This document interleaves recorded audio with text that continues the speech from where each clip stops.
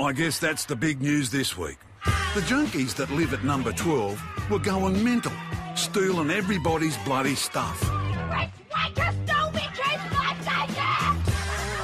junkies stole me best trackies with my favourite skinnies on them.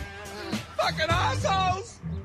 And the junkies had been selling all this stuff to the bikies so they could get the money to buy drugs. Right, everything we got is fucking red hot, eh? Fucking laptops, PlayStations, fucking toaster, bro. You can cook meth in that fucking toaster, bro.